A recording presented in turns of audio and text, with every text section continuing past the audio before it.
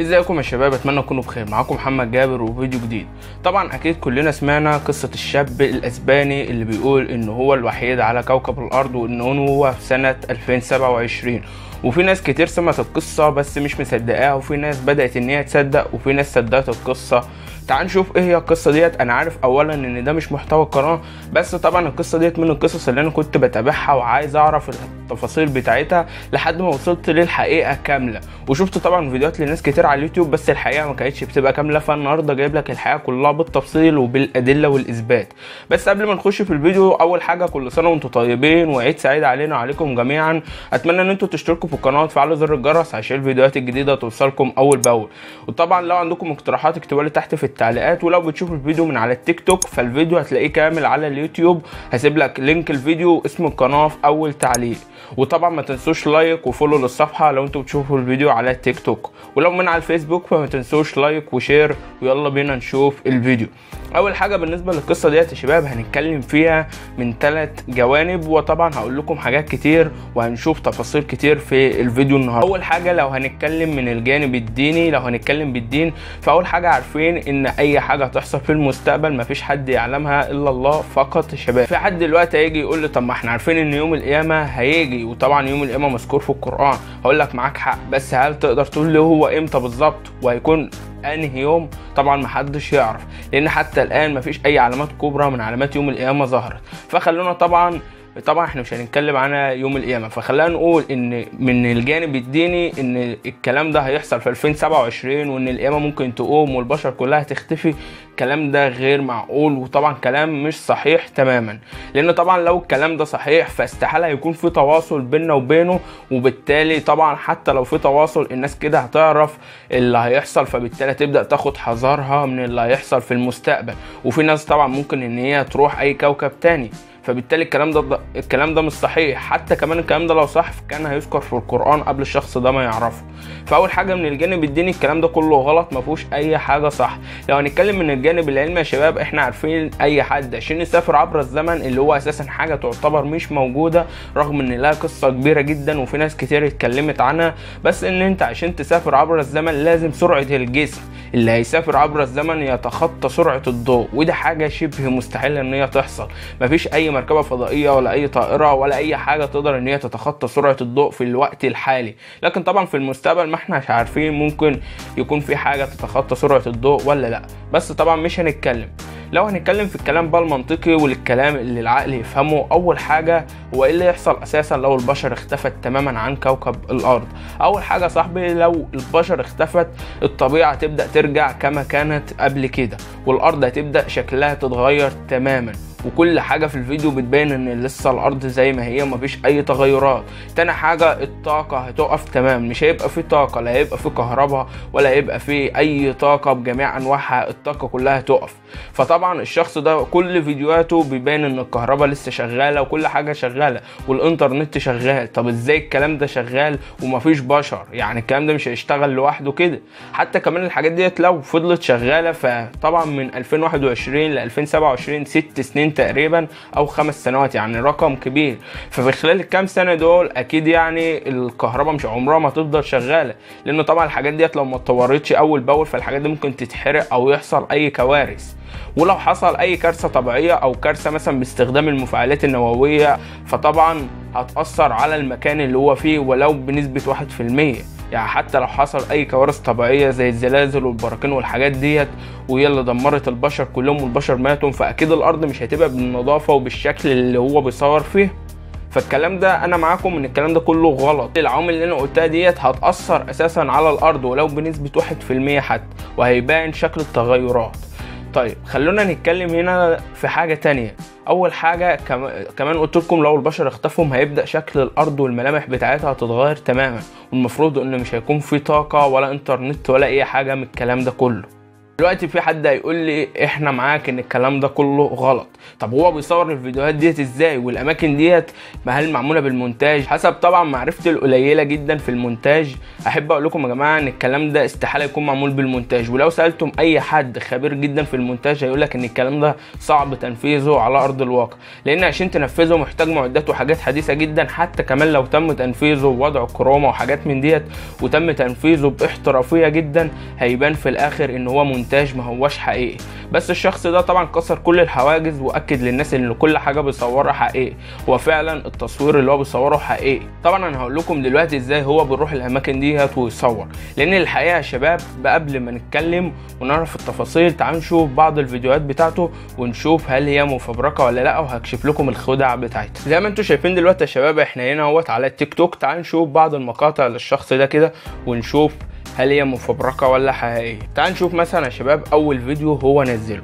وهنتكلم طبعا في أكتر من تفصيل في الفيديو ده. ده أول فيديو منزله جايب 10 مليون مشاهدة طبعا والشخص ده مشاهداته عدت جدا وبقت حاجة عالية جدا. تعال نشوف الفيديو ده كده شباب مع بعض. أول حاجة هنقف كده. بالنسبة للسيارات اللي إحنا شايفينها ديت فالسيارات دي كلها مفيش أي حاجة بتدل إن في أي حاجة منهم جاية من المستقبل. كل السيارات ديت موديلات موجودة حاليا في الوقت الحالي أو طبعا في السنين اللي فاتت. لكن مفيش ولا أي سيارة من دول بتدل إن هي جاية مثلا من المستقبل ولا إن هي شكل جديد أو موديل جديد. لأن طبعا لو كان مثلا كلامه صح كنا هنشوف أي حاجة تدل على إن في حاجات تمت في خلال السنين اللي فاتت ولان كلامه صح كان هيبقى في على الأقل سيارة من السيارات ديت موديل جديد أو شكلها غريب تدل على الكلام اللي هو بيقول. تعال نشوف كده مع بعض باقي الفيديو.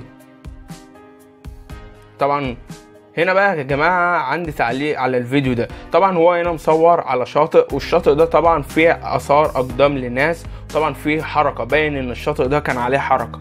طيب الشاطئ ده أساسا لو بقاله فترة لو اتساب سنة مثلا محدش راح هناك فطبعا الشاطئ ده مع العوامل الجوية والهواء والحركة طبعا والرياح والكلام ده كله هتلاقي إن الآثار بتاعت الناس دي كلها مختفية. استحالة إن هي تظهر أساسا إلا إذا كان في ناس هنا.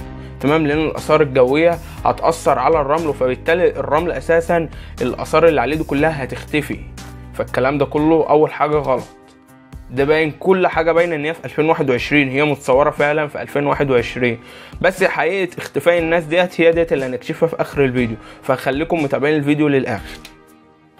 تعال نشوف دلوقتي فيديو تاني برضو من الفيديوهات اللي أثارت الجدل والفيديو ده كده. الفيديو ده تقريبا الشخص ده مصور في المطار وظاهر الانعكاس بتاعه عشان يثبت للناس إن مفيش أي مونتاج ولا تعديل على الفيديو ده. طيب هو الفيديو ده فعلا حقيقي ومتصور في المطار وهو كان ماشي لوحده. بس أنا قلت لكم حقيقة اختفاء الناس ديت هوضحها لكم في آخر الفيديو. تعال نشوف بعض الفيديوهات التانية برضو. بالنسبة للجهاز دوت يا شباب واللي الناس كتير قالت إن صعب إن أنت تعدل على الإعدادات بتاعته. لأ مفيش أي حاجة صعبة يا شباب. الجهاز ده زيه زي أي جهاز إلكتروني إحنا بنستخدمه. تقدر إن أنت تعدل في الإعدادات بتاعته عادي جدا وطبعا الجهاز ده أكيد معدل في الإعدادات بتاعته. بس طبعا الحقيقة هكشفها لكم بالأدلة وبالإثباتات في آخر الفيديو. لو جينا نشوف هنا يا شباب زي ما قلت لكم بالنسبة لسيارة الشرطة ديت سيارة الشرطة ديت هيظهر لك صورة جنبها دلوقتي. الصورة ديت بتوضح شكل سيارة الشرطة في 2021 أو في الوقت الحالي وهنلاقي إن هي نفس الشكل ده. فطبعا يعني في خلال ست سنين يعني ست سنين كاملين عمر طبعا ما السيارات هتفضل على نفس الشكل. يعني طبعا أكيد السيارات هتختلف لأن التكنولوجيا كل مدى بتتطور فأكيد مش هيبقى بنفس الشكل اللي إحنا شايفينه ده يا شباب. طيب يا شباب في الفيديو ده كمان برضو عايز أقول لكم زي ما أنتم شايفين أهوت نفس الشجرة اللي هي على شكل بيضاوي ديت. الشجرة ديت أساسا يعني في ناس هما اللي بيعملوها بالشكل ده. هي لو اتثبت أكتر من فترة لو اتثبت فترة كبيرة طبعا هتلاقي الشجرة دي بترجع لشكلها الطبيعي لأن الورق اللي فيها هيبدأ يكبر. فالشجرة دي لازم كل شوية شخص يظبطها بالشكل اللي إحنا شايفينه ده. فطبعا كل حاجة بتبين إن في ناس عملوها. حتى كمان لما دخل المطعم بتاع ماكدونالدز وفي مطاعم كتير هو دخلها واثبت للناس إن في أكل. طبعا الأكل ده مش هيتعمل لوحده ومش هيفضل أساسا ينفع إن هو يتاكل لو اتساب الفترة دي كلها لوحده. طبعا الحاجة اللي أثبتت أكتر هو لما دخل نادي فالنسيا. وطبعا التيشيرتات بتاعت نادي فالنسيا اللي أنتوا شايفينها ديت هيظهر لك صورتين للتيشيرتات الحالية أو التيشيرتات اللي هي كانت في الموسم الماضي لنادي فالنسيا لأن طبعا إحنا عارفين إن الأندية كل موسم بيغيروا التيشيرتات. فطبعا نادي فالنسيا غير التيشيرت اللي أنتم شايفينه في الصورة دلوقتي يا شباب. فالتيشيرت دوت يعتبر متغير. هيكون بقى موجود سنة 2027 دي حاجة بقى بالعقل. يعني التيشيرت اللي موجود من كام سنة؟ يعني التيشيرت بتاع سنة 2012 عمرك ما تلاقيه موجود حاليا في الوقت ده. لأن تلاقي التيشيرتات بتتغير. ده زي ما أنا عايز أوريكم أهوت يا شباب. هو راح ياخد التيشيرتات. التيشيرت الأحمر والتيشيرت الأبيض. هنلاقي التيشيرتات دول هم نفس التيشيرتات اللي في الصورة ودول تيشيرتات الموسم الماضي لأن التيشيرتات بتاع الموسم اللي موجود حاليا هو طبعا اتغيرت هيظهر لك شكلها دلوقتي. هو طبعا كل حاجة يا جماعة بتأكد إن ديت استحالة تكون في سنة 2027 بالنسبة طبعا للساعه اللي في الشارع ديت فالساعة ديت معدل عليها برضو كل حاجة زي ما قلت لكم متعدله بس بقى المشكلة هنا إن هنا الحقيقة ظهرت. هنا الحقيقة ظهرت يا شباب بس في حد هيجي يقول لي طب إزاي الناس اختفت؟ أنا معاك في كل حاجة بس الناس اختفت إزاي؟ طيب أنا هقول لكم على حاجة يا شباب حقيقة اختفاء الناس هو الناس ما اختفتش ولا حاجة لكن هو للاسف يعني كما توقعنا ده تريلر لمسلسل هي المفروض إن هو هينزل قريب. في ناس هتقول لي لأ الكلام ده مش صحيح أنا جايب لك دليلين كمان وهنشوف مع بعض. موقع اليوم السابع طبعا الموقع يا جماعة نشر مقولة من كام يوم كده بيقول إن طبعا بعد أيام من المتعة والمغامرة مع الناجي الوحيد كشف أحد المواقع الإسبانية إن في بعض أو أحد الشركات الإنتاج الإسبانية قالت إن ده مسلسل وإن ده طبعا بيتعمل له إعلانات بطريقة مختلفة وإن الشركة عملت حساب على برنامج تيك توك وطبعا الشركة ديت عملت الفيديوهات ديت عشان تسوق للمسلسل. طبعا الكلام ده جايبه من على موقع اليوم السابع. عشان تصدق أكتر أنا جايب لك موقع أسباني. طبعا الموقع ده موقع أسباني شباب بيأكد الكلام ده. طبعا هو باللغة الأسبانية بس أنا طبعا ترجمت الكلام للغة العربية. الموقع ده كمان برضو بيأكد نفس الكلام. طبعا الموقع ده بيقول لك إن القصة ديت هي قصة ملحمية لشاب يستيقظ في مستشفى بمفرده. ويعتقد أنه في عام 2027 من خلال طبعا الساعات الرقمية وطبعا الأجهزة الإلكترونية. بس طبعا بيقول لك إن الكلام ده كله غلط وبيقول لك بفضل قدراته على التواصل عبر الإنترنت.